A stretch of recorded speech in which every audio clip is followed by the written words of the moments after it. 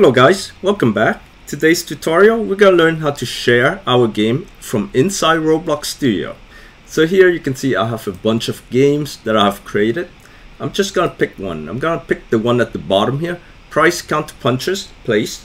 So I'm first thing I'm gonna do, I'm gonna open it up inside Roblox Studio by clicking on edit here.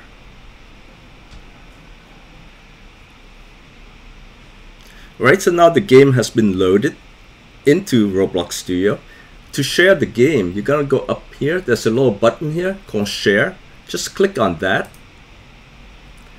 And you see this little window pop up. So this is the good thing about this is um, in order, it, it, checks to see if your game is public. Because uh, if your game is not is private, there's no sense of sharing it because nobody's gonna be able to use it, right? So it wants to make sure that your game is public. So since this game is not public, it, it, it, lets me know that I need to make my game public to share it. So I'm just going to click on game setting here. So it gives you the button to click on. Just click on that, come in here, and then just click on public. Click save. And now my game is public. So now I can share it. So I'm going to click on the share button again. Now I have three choices here. I can either copy the link right? The first button is to copy the link to the game and then I can paste it anywhere I like. For example, I can paste it into an email or anywhere else you want to paste the link in, you can paste the link in. So it just it's like copy and paste. The next option you have here is to share on Twitter. So if I click on this, it's gonna load um, everything into Twitter for me.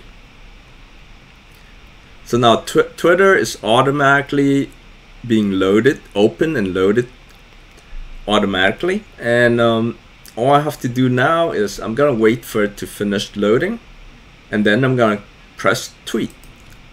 And now my game is shared on Twitter. And there it is. You see this is the new game that has been shared. I can click on it and here I can click play to play the game.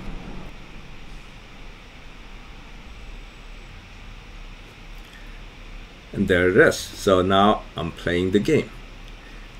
And if if you share it on Twitter, then other people can also click on it and play the game. Now the final option we have here is to share your game on Facebook. If you try it right now, I tried it and it doesn't seem to work you see here we're getting an error app not active. This app is not accessible right now and the app developer is aware of the issue. You will be able to log in when the app is reactivated. So it looks like it's not working for Facebook right now.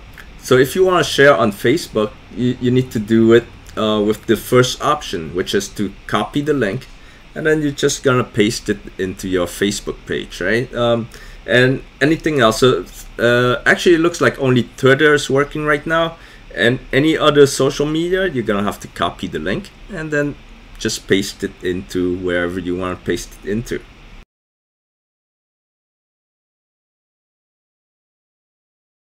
Alright everyone, that's how you use the share option from inside Roblox Studio.